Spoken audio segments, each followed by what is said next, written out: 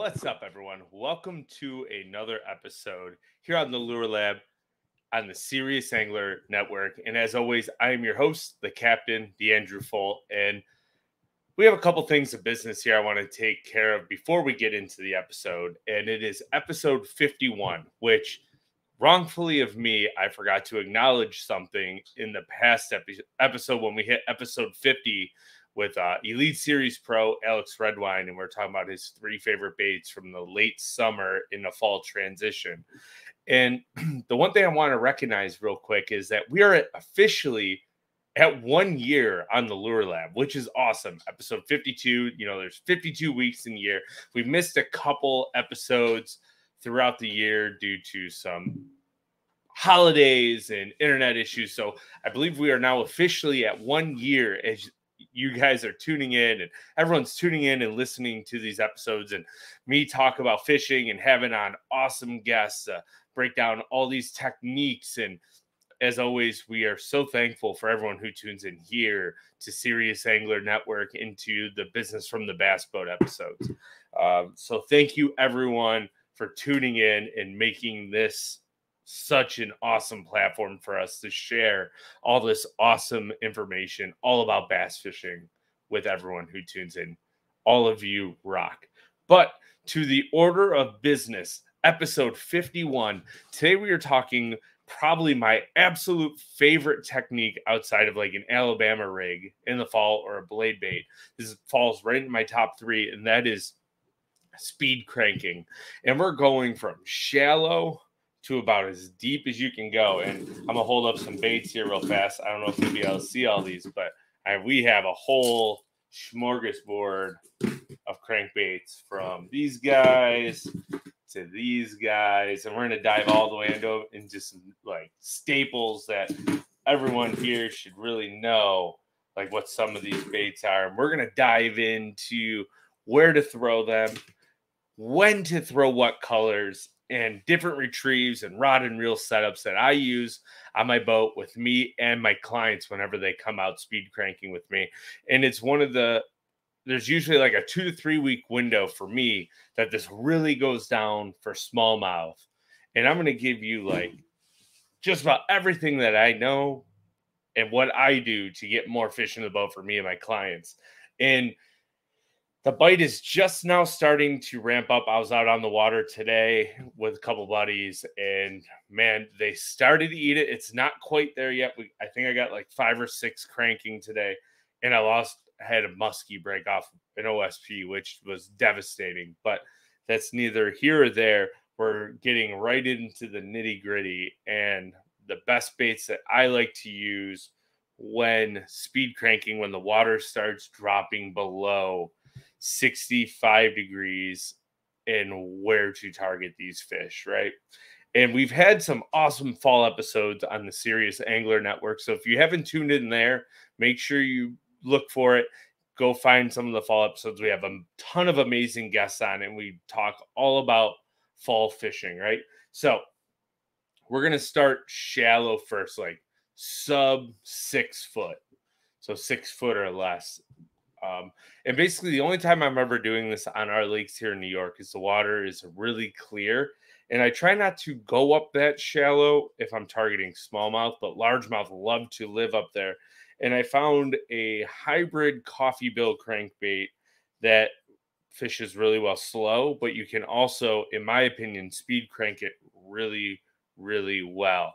And right after I talk about this crankbait, I'm going to go into the two setups that I use because that will allow me to talk more about the deeper diving side of speed cranking. And there's actually a couple crankbaits that I did not have because they're in my boat and they're covered that I'm going to include in here on crankbaits that work really, really well to get a ton of bites. So down in the description below, uh, if you're on Spotify, Apple Podcasts, whatever your favorite MP3 platform is, or on YouTube, down below, all these baits will be linked if they are on Omnia, so you can go and buy them up and fish them, including the reel and the line that I use. But first, up shallow, rip rap, rocky areas. This bait actually deflects really well out of trees as well if you retrieve it properly. Um, and you can fish it really fast or really slow. and we're getting expensive here. This is the OSP Blitz MR. Now, I did. I haven't thrown this bait a ton because there's not a lot of areas for me to throw it when I'm smallmouth fishing because I'm I'm a grinder, which we're gonna get into. And what I mean by a grinder is not putting my head down and just reeling and burning a ton of water. I'm a grinder. I want my baits ripping through the ground. But this is an excellent option for largemouth and smallmouth. So like your bodies of water that have mixed populations of bass in it, or if it's just strictly largemouth, getting up shallow if they're feeding on shad the Blitz MR is a really, really good one. You can fish it fast, you can fish it slow, it deflects well, it casts really, really well. And OSP is really unique on the way they designed and engineered these baits.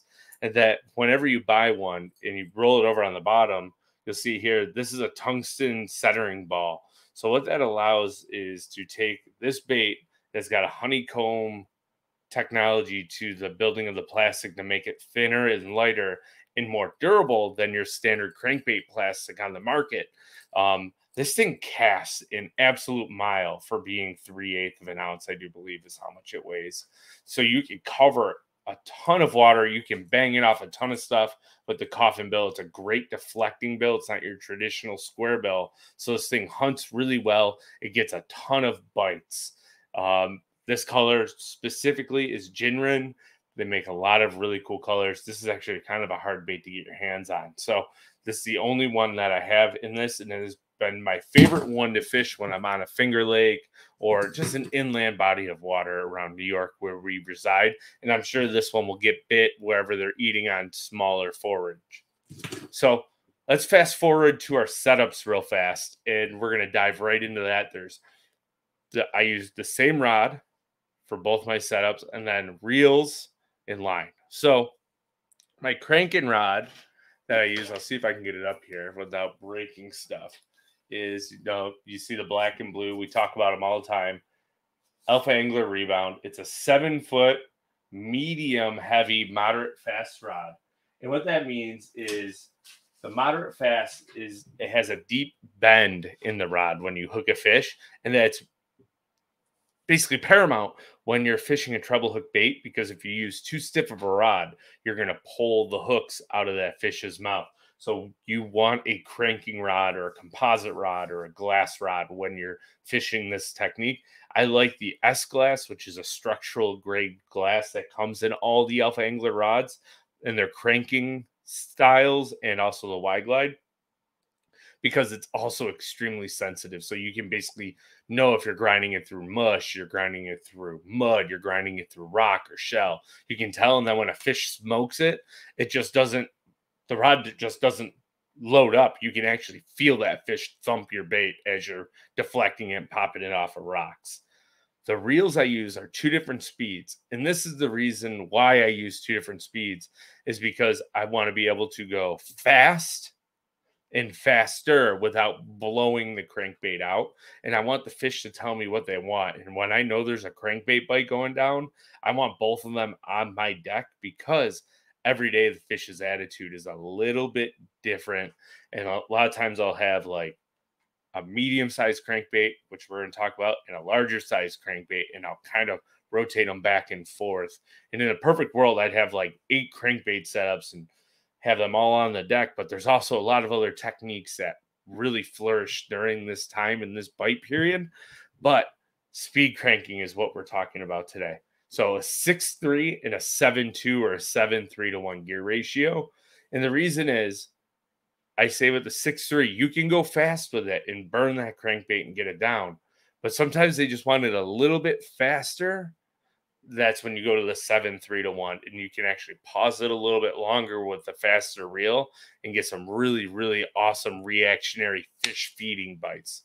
So like you hit that rock that bait stops you're like counting a one two three before you engage that reel again your rod's getting ripped out of your hand. So you're creating a reactionary fish feeding bite that they are just absolutely unloading it because up here in the north these fish need to eat in order to be ready for the winter.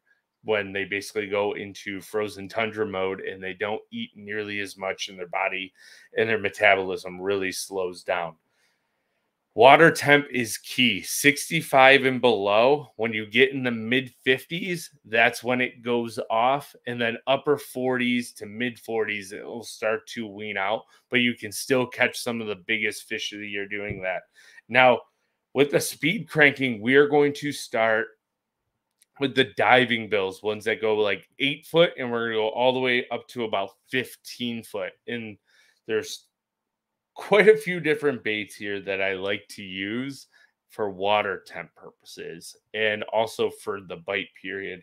And I'm gonna start off with my absolute favorite brand, and I've already mentioned it, it's OSP, and I'm probably going to take a lot of flack for talking about OSP crankbaits. But there's one thing that sets them apart is that they cast better, they run better straight out of the package. You don't have to tune them nearly as much, and we'll talk about tuning crankbaits here once we get into some of the other ones. And they just straight out catch fish. So the first one is the OSP DR and another cheaper model that you can buy is uh, Strike King Series 3. This is a 3XD, which we're going to talk about here in a minute, but you can buy a Series 3 and it'll actually run the same way. And this little dude is actually a really bad to the bone speed crank. You can catch a lot of big fish, throw in the original Series 3 crankbait.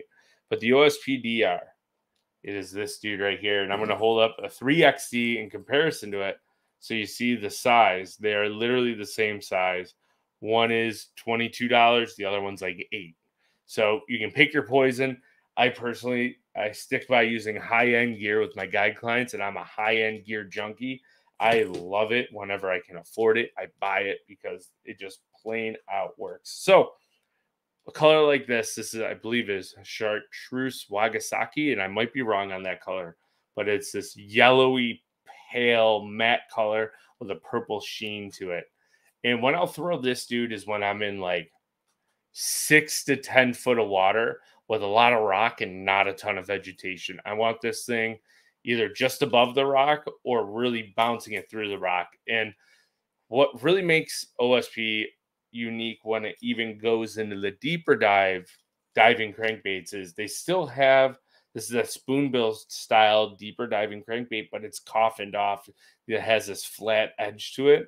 And I think that's one of the keys to allowing it to get bit better than just your standard spoonbill crankbait is because it deflects a lot differently and it gets down deeper faster with almost zero resistance. And that's why I throw it on a seven foot rod because I can still cast it super far on 12 pound test because this baby will just fly.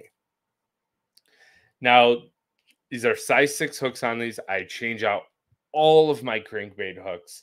And the crankbait hooks I use, actually, I have some right here, are Owner ST36. Yeah, Owner ST36. These are the BCs. Um, I don't remember what BC stands for, but size five, size six, and size four are the ones that I'll switch out. With the OSP DR, it is size six only.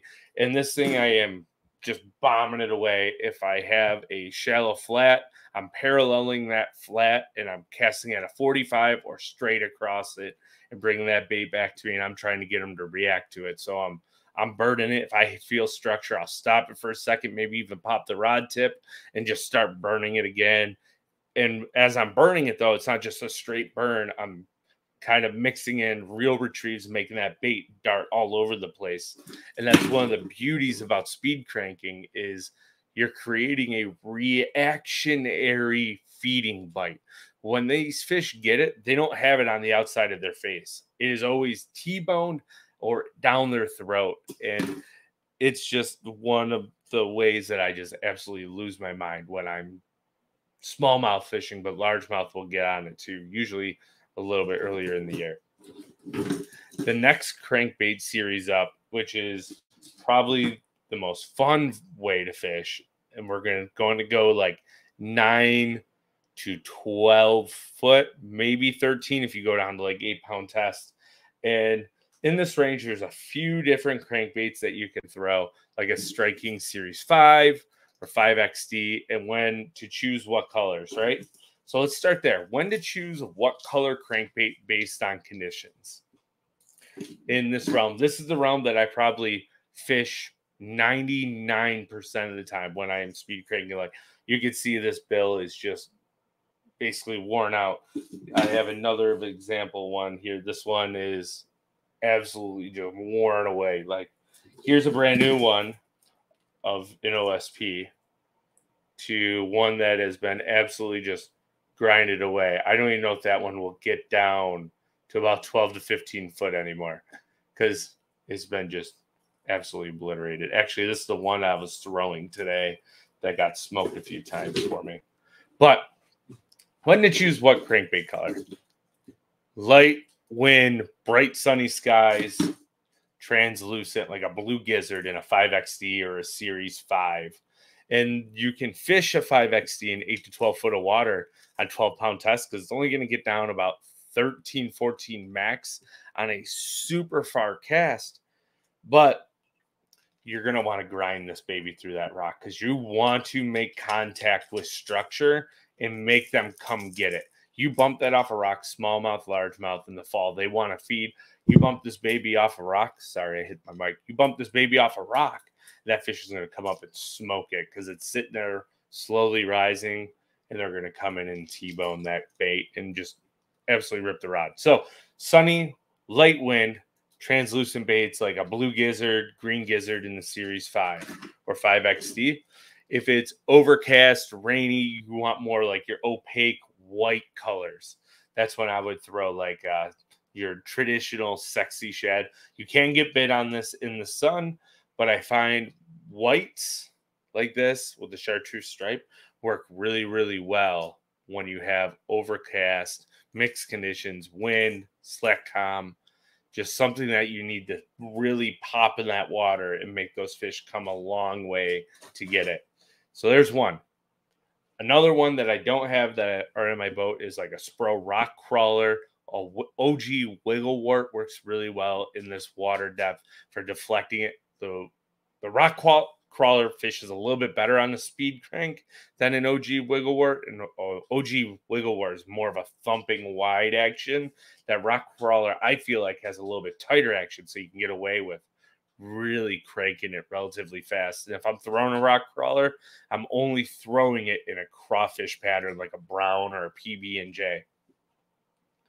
Now, the next one that you could throw, and this one is important for me to talk about water temp before I get into my all-time favorite, which I've already showcased here a little bit. It's really important with water temp to sometimes go away from plastic and to pick up a balsa bait. And this one you can throw all year round, and a ton of people have success with it all year round. And I will only throw this bait on the six three to one gear ratio reel. That's a Rapala DT10. It's still, oh, I feel like I skipped something really big, and I'm going to go back to it here. It just popped in my brain on my notes. I was like, oh, I missed something really important. So hold with me here as I talk about the balsa bait. But the DT10 is really important because you can fish it fast or you can fish it slow and it'll still get down. Important side note do not slap this bait on the water. It will probably break because it is balsa, but this is one of the best fish catchers literally made all time. And balsa is awesome in colder water, like below 52 degrees. When this baby hits something, as I throw it here, when this baby hits something, it's going to deflect and slowly float up. And that dead slow action of it floating up is when those fish eat it. They they come unglued. There's but crankbait fishing you do not want to just straight retrieve it you want to change your rod angle a little bit change your pulses in your reel as you're reeling speed up slow down half turns quick half turns that's going to cause that bait to do different things but with a dt10 I feel when you're slow winding it, if you just kind of give it one, two twitches, that thing will change. And then, or if you deflect off something, you pause, it just slowly rises and the fish can't stand it. Colors there. Um, there's basically only two that I'm going to throw. To be like a white like this. I don't remember the name of this color. You can comment down below if you remember it. And then this one, when this is a DT8, right? Yeah, this is actually a six. But I will throw this if I'm on a body of water with perch and it's cloudy and overcast. Solid body, has some silver flake to it, so it's really gonna pop out in some cloudy water. Not cloudy water, stained cloudy water, meaning like in the fall, sometimes we'll have turnovers and the lakes will turn like this tannic must not mustard tannic brown color. That's when i will go to this guy because it's really going to stand out and have a lot of contrast in that water. Now to my okay not to my all-time favorite bait. We need to have a second here and talk about the specific crankbait that you need for speed cranking. I should have prefaced this at the very, very start of the show, and I kind of did it a little bit with the OSP MR. But speed cranking is so important to have the right style crankbait. And if I hold these up here, let's take the ones we've already talked about. Now I'm going to see if we can see here. So this is the MR. Look at the body shape, right? It's slim, but it's a little round, has a flat top to it, very aerodynamically sound my favorite bait, which we're going to talk about here in a second, the OSP EXDR. It's the same body shape as that MR. And this allows it, it's very aerodynamically sound. So it's straight. It's basically a flat, it's almost a flat sided, but slightly round. And the bill isn't any much more wide than the bait itself. And I feel like that's important for the aerodynamics of that bait. So as it's as you're ripping it through the water, it is staying true and sound. You need a very well balanced crankbait in order to speed crank. Otherwise, it's going to blow out and roll. And that's where tuning these guys really, really comes in handy because sometimes, like for these 5XDs, you're going to have to tune them a little bit because when you're speed cranking them, they're going to bounce or they're going to pull right or pull left or kind of roll based on the way this little guy here in the bill is tuned. But the 5XD is the same body shape, right? Like as the EXDR in a way. It's very slender. The bill's a little bit wider than the body, but it also has, I don't, it's really hard to tell it in here, but the top of this bait is actually flattened off where they combine the two plastic sides together. It's flat on the top and it's flat on the bottom and that allows that bait to run true at higher speeds than some of the more rounded crankbaits. I found when they're round, I wonder if I have a round one here. I do not. So, with a rounded crankbait, what causes that is it gets more like list and roll. So when you get a big round bulbous looking crankbait, when you try to speed crank it, the chances of it going like this and running one way is way more likely. That's that's a little bit more narrower and has the same width as the bill. Now to the EXDR OSP, uh, I think I have every single color of this crankbait made, and there's only a certain couple that really, really stand out and catch fish for me. And I'm going to walk through my process and those who commented on the post on Instagram you guys made me want to talk about this even more. But there's certain times, color conditions, current conditions that you're going to get bit on this bait. And there's just certain colors that are better than others, in my opinion, up here in the north, and that you can use different colors in your body of water that pertain to your particular fish. But my two starting points with the OSP EXDR. One is going to be your variable conditions mix of sun, cloud, leaning more cloudy with even a little bit of wind or stained water. And that's this vanilla chartreuse color. It's very loud, but it's also matted down a little bit. So it stands out really, really well in the water. This one's caught a bunch of fish already.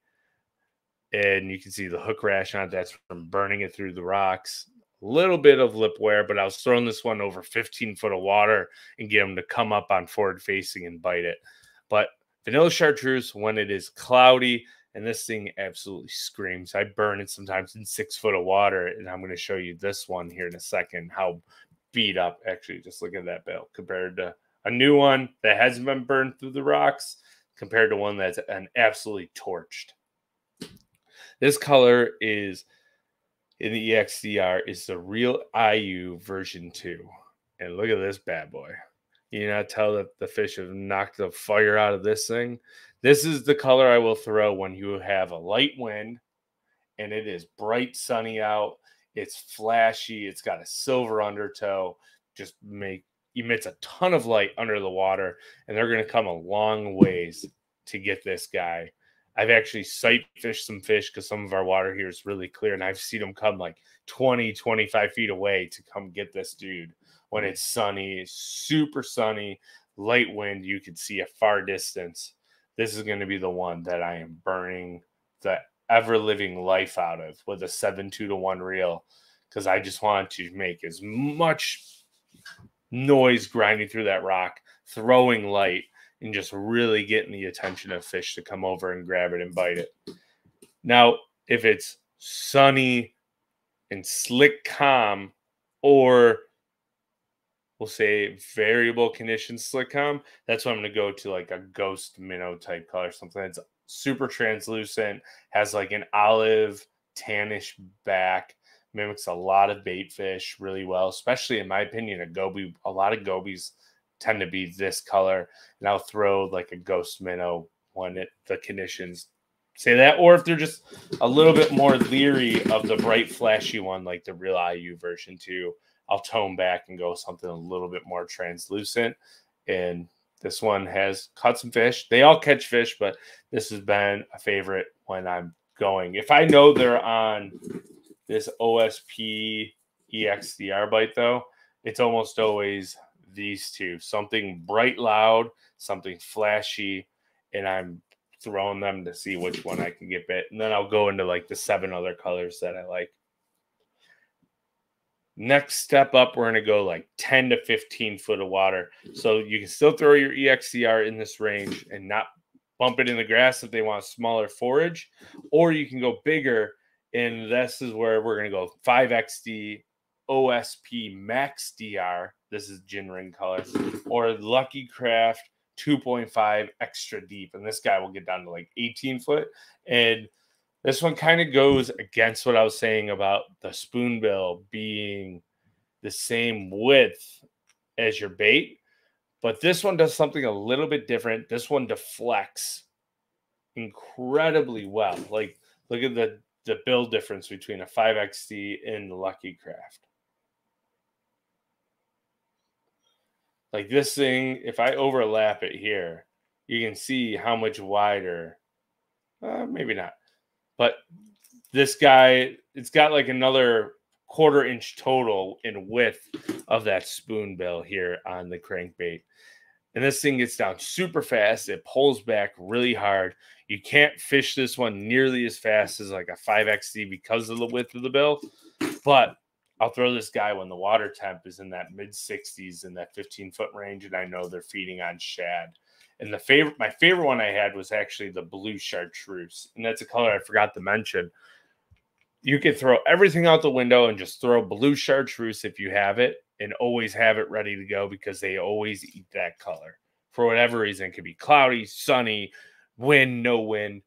Almost always have a blue chartreuse on, and this is the one that I have it in if it's in my other crankbait box. And these guys, a little bit slower, six three to one reel, and all the rest of the crankbaits you can throw on a six three to seven three to one.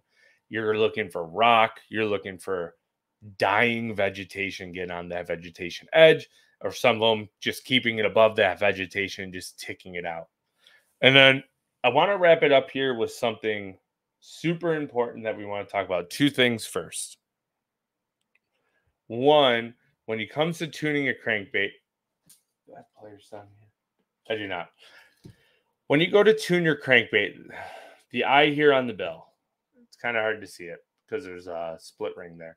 But that eye on the bell, when you tune a crankbait, you do not want to move this thing a ton of ways left or right. It's literally micro fractions, like the tiniest little bit.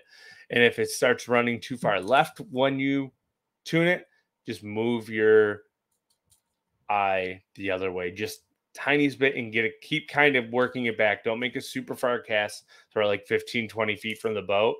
And that baby will, as you're tuning it, the baby will tell you, this lure will tell you how you're tuning it to get it to run straight. Second, always, always, always, and this is gonna be my Do It Molds juice of the week. I already talked about changing the hooks, but here's why the style of hook that I use. So the Do It Molds juice of, juice of the episode, juice of the week, and you can run right over to Do It Molds. They not only sell like molds and all these kits to make your own plastics and pour your own lead and create all of your own tackle and lures and all your dreams galore. But they also sell a ton of hooks, and you can buy hooks in bulk. And in the fall, when I am speed cranking, I never throw an EWG. It is always a round bend. And I love ST36s.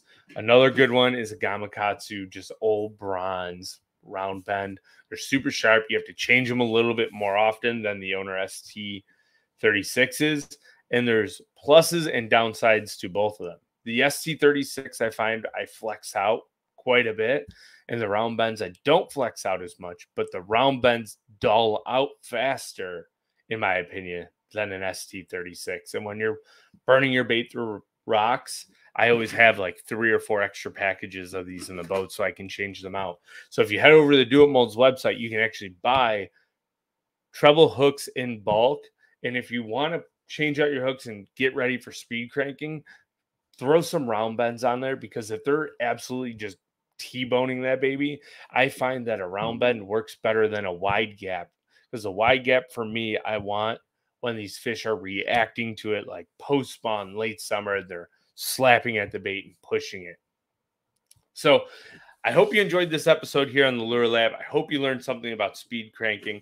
We do have some guide trips, and I'm hoping that we are able to get out around that time in the middle of November for when the speed cranking bite is my absolute favorite time to absolutely lead on these fish up here in the north.